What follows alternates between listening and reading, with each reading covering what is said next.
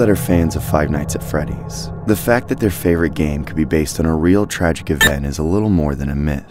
One possibility for the origin of the story out of many others. It's just another edgy piece of the lore, something to dismiss as a made up connection. However, I believe there's far more to it than just that. I only learned the details of the game because my son is super into it. We talk about games together as a way of bonding, otherwise, I never would have played it. However, once I realized that Freddy Fazbear's is obviously a mimic of Chuck E. Cheese, I started listening. And once I got the full story, I was convinced that the whole thing is based on something I experienced. Way back in 1993, I was working at Chuck E. Cheese. It was my crappy part time job in college where I always got stuck working the late shift. Between the lifeless lighting, the uncanny animatronics, and the weird families, I was always creeped out. However, the thing that would put me most on edge was a coworker of mine who we called Nate. Nate was one of those guys that always seemed angry about something. Every time he looked at me, it was like I'd just kicked his dog or something. And whenever we were around each other, he would harass me. Whether it was splashing dirty dishwater in my face or throwing me under the bus for something he did, he always made my shift 10 times worse. Plus, he got into arguments with the managers every day because he was always late with a BS excuse. Aside from the incident, the most psychotic stunt he ever pulled was already heinous. He had just spent 45 minutes in the bathroom supposedly deep cleaning it. I went in there right after to take a dump while on my break, and he had clearly not done a single thing. What's worse, when I sat down on the toilet, I felt something drip on my head.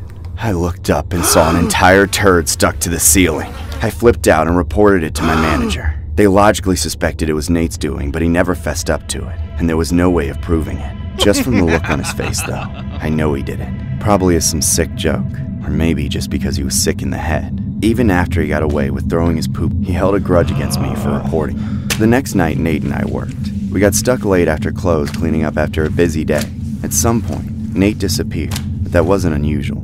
A few minutes later, while I was sweeping around the stage area, I was walking by one of the big Chuck E. Cheese suits when all of a sudden, it grabbed me. I punched the head of the suit right off, and who else was wearing it but Nate? Laughing like he was some sort of comedic genius. Both me and Nate got sent home early over the commotion. The managers must have had a talk afterwards, because the next day, as soon as Nate showed up for work, the owner fired him on the spot. Of course, Nate flipped his lid and screamed his head off at the entire store. He almost started a fist fight. But then somebody yelled that they were calling the cops, and Nate finally stopped throwing a tantrum and stormed out, slamming the door so hard it cracked the glass. After that, it seemed like I was free from Nate's constant tormenting. For a glorious few months, that was the case, until he showed up again. I was working at the food bar when I spotted Nate staring at me from across the restaurant. He was pretending to play an arcade game, but the entire time he was glaring right at me. I tried to ignore it, but he was stalking the restaurant for hours, and every time I looked over him, he was already looking at me. Then, he came up to me in order to shake, and he was just as antagonistic as he always was. This better be perfect. You hear me? If you're gonna steal my job, you better be good at it. Nate, you never even worked front of house. You never made shakes. Shut up! How would you like to get fired over some bullcrap? I had to roll my eyes and sigh, but I was hiding the fact that I was scared. There was something even more unhinged about him then. Eventually, I went on break, and like usual, my first move was to go to the bathroom for a long dump. I soon realized I wasn't alone in the bathroom. There was someone in the stall next to me, laughing like a psycho. I recognized that voice. It wasn't just any creep, it was Nate. Every day I spent working with him came rushing back, and I was suddenly terrified of being alone with him. I didn't make a sound. I was glad he left the bathroom after a bit, and I breathed a sigh of relief, knowing I could get back to business as usual, except there was nothing usual about that day. A few minutes later, I heard a loud pop from the restaurant, followed by screaming. The hairs on the back of my neck stood up, but I wanted to convince myself it was just balloons popping. But then I heard it again and again and again. Despite this, I continued to delude myself into thinking it was just balloons, and I stayed put. Out of nowhere, somebody burst into the bathroom. I watched their legs as they walked up to my door. It smells like shit! What the hell did you eat? They kicked the door with full force. What do you want? Stop it! Despite my pleas, they continued to kick the stall. I knew they would break it down before long, so I panicked and reached into the toilet bowl. I pulled out the log I just laid and lobbed it over the door. Ah! Everything is brown! You stupid idiot! I must have nailed him right in the face, because it was enough to get him to leave me alone. Afterwards, I finished up and cleaned off my hands, then left the bathroom to go back to work. Unfortunately, once I stepped back into the restaurant, I saw nothing but catastrophe. People were either hiding under tables and chairs or laid out on the floor. I had no idea what was going on, but it had been going on the whole time I was in the bathroom. Nate did all of it, and had just left, but the cops were just showing up. Later, I found out that Nate sought revenge for getting fired and came back to take it out on a few employees. He was arrested not long after at his mother's apartment. I was lucky to be in the bathroom when he did it. Otherwise, I wouldn't be alive right now. Knowing all this, and from what I've been told about Five Nights at Freddy's, the parallels are just uncanny to me. I believe this is what the story of the game is based on. The story was inspired by a tragic incident that most people believe to be the origin of the Five Nights at Freddy's franchise. It was an incident that happened in 1993 when a man named Nathan Dunlap, a former employee of the Chuck E. Cheese restaurant, was frustrated about being fired five months prior. His revengeful attack left a total of four deceased and one critically injured. The correlation behind the incident in Five Nights at Freddy's is that there had been many underlying resemblances. Like, for instance, the Freddy Fazbear's Pizzeria's resemblance to Chuck E. Cheese, and how the setting of the game encompasses the year of the crime, 1993. There are many more similarities to the victims and the characters in the game itself online, but here was just a handful that summarized the deadly events.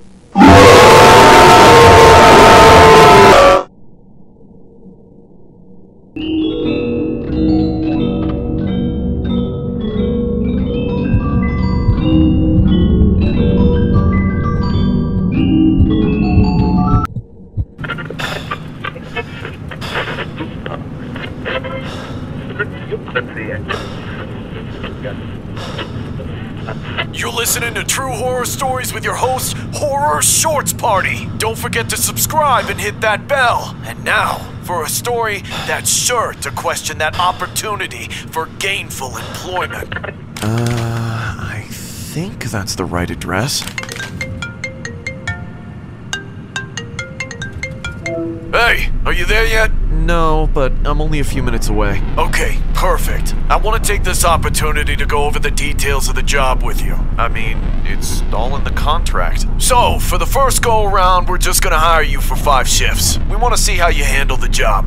I think I'll be able to handle it just fine. I've had security jobs before. Yeah, yeah, but Freddy Fazbear's Pizzeria is different. We aren't your run-of-the-mill Chuck E. Cheese or suburban malls. Freddy Fazbear has personality. Personality? Like charm? No, like liveliness. He's got vigor, you know? Anyway, so all you really need to do is sit in the security room and watch the cameras. You don't have to do any rounds throughout the building. We actually encourage you not to do so, or you could incur penalties from your paycheck. What? Uh, how am I supposed to check the blind spots? Don't worry about the blind spots. That's not in your contract. Listen, man, I know what the contract says, but I won't be able to ensure the security of your property if I can't do physical rounds. I'm a little concerned about some of the language in the job description. Well, if you can't follow instructions, then I'll give the job to someone else. I've got two other guys in line for this job. Nope, don't do that. I, I need the money. I'll do whatever you say. Just go ahead. If you already know what you're doing, then you can reference the contract if you have any questions. Good luck. Good luck? Wait, what do you mean, good luck? Jeez, what a jerk. You have arrived at your destination. Oh shit! What the hell was that? You absolute moron! That's right, get out of here, you idiot! At least I'm already here. I'll worry about you tomorrow, I guess.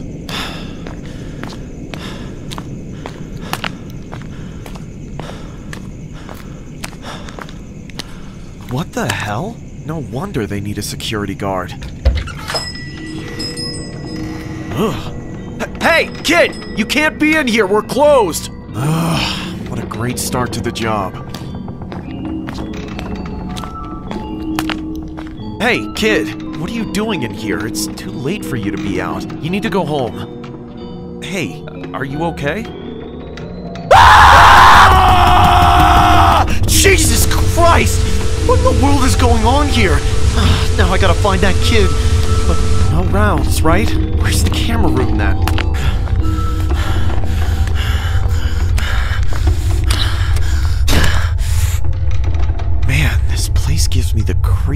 Just one camera at a time? Really? Where's the selection of you all? Main stage, hallway one, hallway two, party room, kitchen. That's it? It could really use some more coverage. Wait a second. One of them is missing. Did that stupid kid run off with it? Where did he even go? Can't see a damn thing from here. Screw the contract. God damn it. I'm letting some random kid steal property on my first night. I won't be keeping this job, I guess.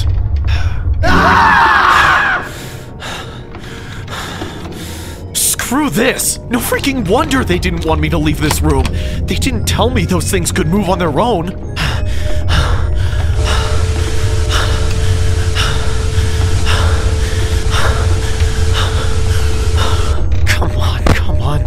Where is he? No, not the dang chicken, too. How is this possible? Oh, but, but where did the bear go? He was just right there. He's not there. Oh, come on! Are they all alive? No. How are they so fast? What do they want with me? No. No, no, no, no, no. I, I can't do this. I have to get out of here.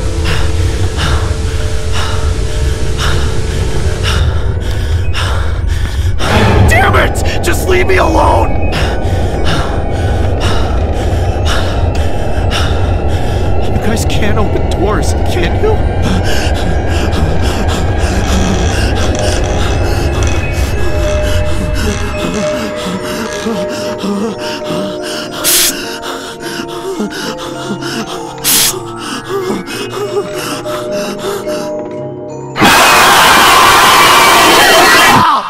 This story was inspired by the infamous incident where five Chuck E. Cheese customers suddenly went missing. We made an animation based on it on our last Chuck E. Cheese video, so please be sure to check that out. However, we felt it was fitting to revisit the conspiracy, as most people think the whole Five Night franchise was based on that alleged case, as many people speculate the victims' bodies are hidden within the animatronics as shown in the video game. Whether the whole thing was an internet hoax or not, we'll let you make that judgment.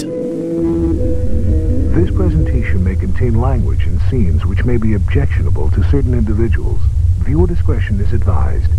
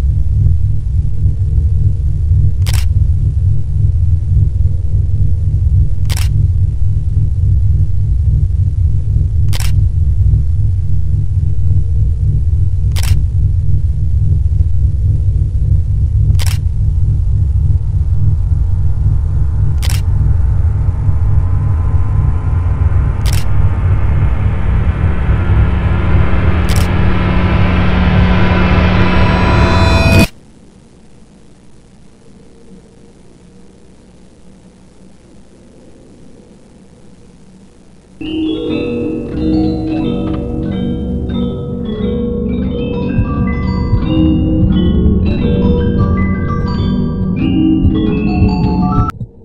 was a pretty miserable teenager. Honestly, I spent most of my time crying and the rest of my time having panic attacks. I guess part of it was anxiety, but most of it was because of my family, especially my brother. He was horrible to live with. He would take every chance that he got to bully me and make my life as bad as possible. My parents did nothing to stop him. In fact, most of the time, my dad encouraged him. I was a big disappointment to everyone, and no one really gave a shit about me.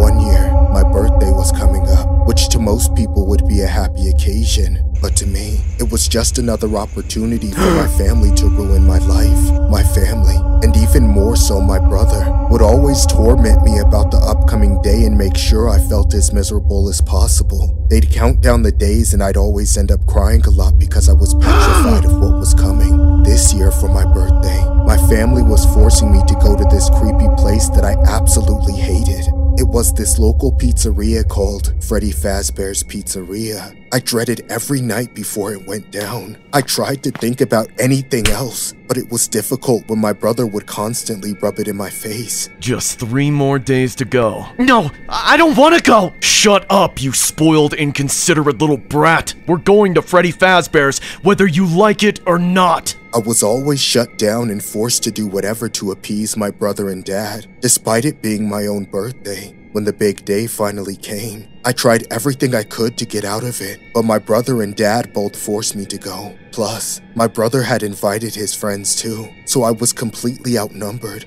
I had no choice. I hated it and I wailed and cried the whole way there. It didn't seem to do anything but make them laugh though. My feelings didn't matter to them. The reason I was so terrified of the pizzeria was mostly because of the animatronics. They were so creepy. They were these big robots that constantly moved their mouths like they were singing and stared straight ahead with these dead eyes. They really freaked me the hell out. It looked like they were real, like someone was actually inside those suits. My family just saw all of this as a big joke though. My brother and his friends kept laughing it up and making jokes about how miserable I was. Even my dad seemed to take pleasure in my discomfort. We ate dinner there and started playing some games. I wasn't really into any of it. I was scared shitless of the animatronics on stage and I couldn't think about anything else. They always had the same expressions on their faces, the same fake looking smile, their mouths constantly moving up and down, slightly out of beat with the music. Throughout the night,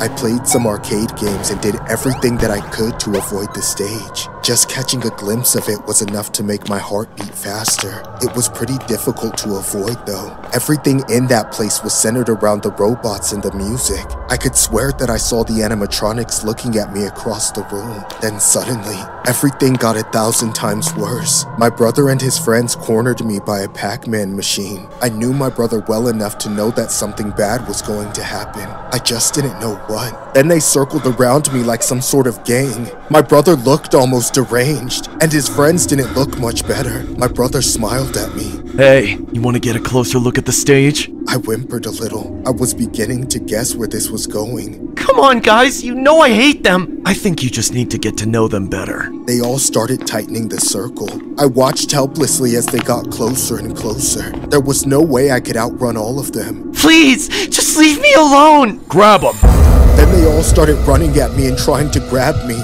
I struggled against them with everything I had, but there were just too many of them and they were all bigger and stronger than I was. They grabbed me easily and started pulling me forward. I was screaming and crying, terrified of what they were going to do. Please, just let me go. Why are you doing this? Then they started dragging me toward the stage and the animatronics. I went completely hysterical at that point. I fought against them, doing anything I could to try to break free. Just let me go. You guys are insane.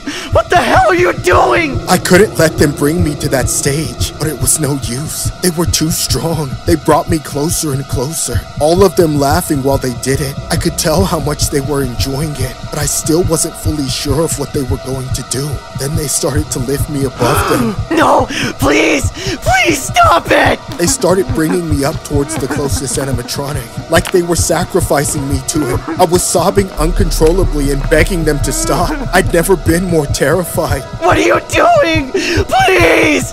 Ah! As they lifted me closer, the animatronic started to chomp faster than usual, completely out of beat with the music. Then it got faster and faster. I couldn't focus on anything besides its mouth going up and down repeatedly, almost hungrily. Then it started losing control and going psycho. No! Help me, somebody! Just when I thought it couldn't get any faster, it jolted towards my head. This story was inspired by the infamous crying child from the FNAF series. The animation sums up the whole story in a nutshell, but there was a more disturbing true backstory behind this. This story was really inspired by an incident that happened at a Chuck E. Cheese in Boston, Massachusetts. A man had been fined $500 for allegedly assaulting a Chuck E. Cheese mascot because he claimed that the mouse had pinned his son and cornered him by the arcade games. Another eerie resemblance, the son was also celebrating his birthday at the Chuck E. Cheese.